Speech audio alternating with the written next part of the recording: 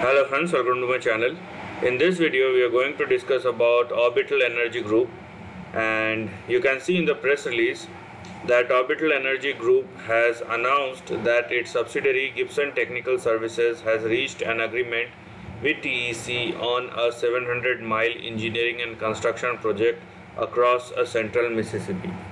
Now, rest of the things are related to uh, the company and what it is doing. The, as you can see, the company provide gas solutions serving the energy, power, and processing markets through the design and all those things. So, end-to-end uh, project and process they are providing. Now, because of this, the stock has moved very sharply in a single trading session.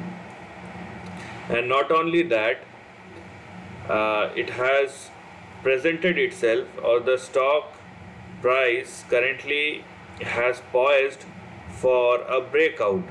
So this is what makes the chart very interesting because as you can see here this level. And we have a chart since uh, 2000 so we have 20 21 years worth of data. So what the company does is here we are. So it's, it's now moving within the range where you have your support at five dollars. And your next target or I would say a resistance at 11.5 dollars. Now as I told you the way the stock price has moved and because we are looking at a long-term chart and as you can see there is a red line which is developing so it is the 200 day moving average. Now the stock has closed subsequently higher you know above this red line which means not only the trend but it has placed itself above the moving averages as well. So what we are going to look here is a level of 11.5 dollars. Now 11.5 dollar is a very big resistance because in the last 12 or 13 years it never been able to cross this level.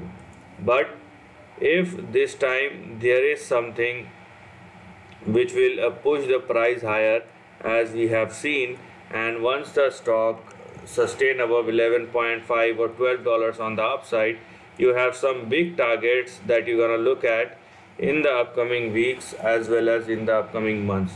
So the targets that we are going to focus on here will be and obviously this will be conditional after 11.5 it will get activated. So you'll have your first target at $24 then you'll have your second target at $34 and the big target that we're to look at will uh, place you or will push the price towards $43 on the upside. So this is the end of the video. Thanks for watching